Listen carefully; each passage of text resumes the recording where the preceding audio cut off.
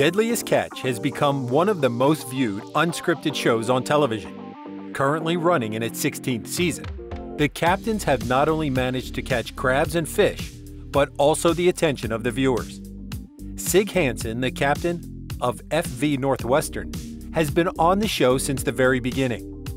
Today, let's find out more about the 54 years old Hansen, his health updates, and his future plans. But before we continue, please subscribe to our channel and be part of our family by ringing the bell. Sig Hansen on Deadliest Catch. Working as a deckhand on his father's boat, Sig Hansen began running the Northwestern full time by 24. Since April 2015, the ship has been featured on the Discovery Channel's reality TV series Deadliest Catch.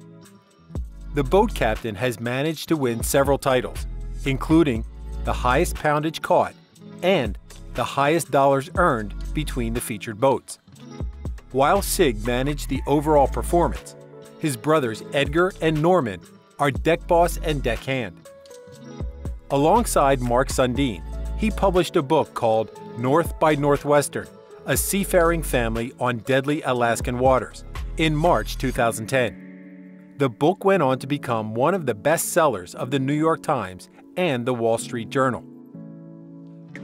Apart from starring in the reality TV series, Sig has guest appeared in The Tonight Show with Jay Leno.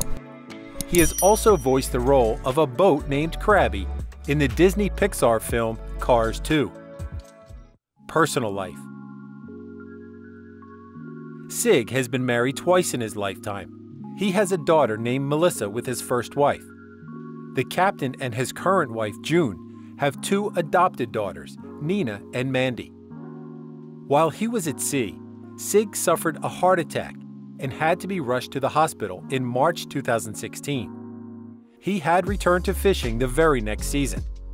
In October 2018, due to some allergic reactions to antibiotics, the captain suffered yet another heart attack.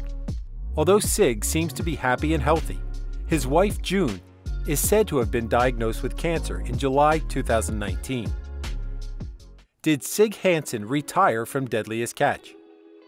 In September 2010, the captain announced that he would not be returning for the seventh season of Deadliest Catch. But just a month after the announcement, Sig said that he would return to the show. As of 2020, the TV star has not decided on retiring. He also says that there is no reason for him to retire yet. With the pandemic taking away jobs, SIG has also noted that there might be a glitch in the crab prices. Being one of the most recognizable characters on the show, the 54 years old captain earns $500,000 to $1 million annually. He also has an estimated net worth of $4 million as of 2020.